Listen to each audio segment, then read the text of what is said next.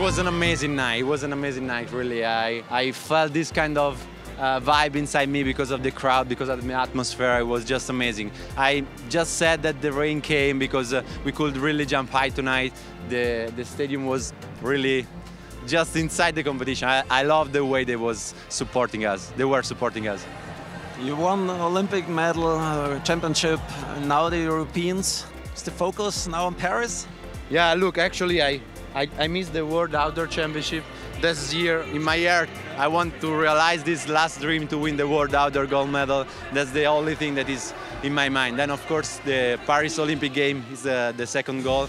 But to win the Outdoor uh, World Championship is the goal of life because uh, it's mean that to have won uh, all the big competition and that's something that pushed me a lot. Congrats, enjoy your time here. Thank you.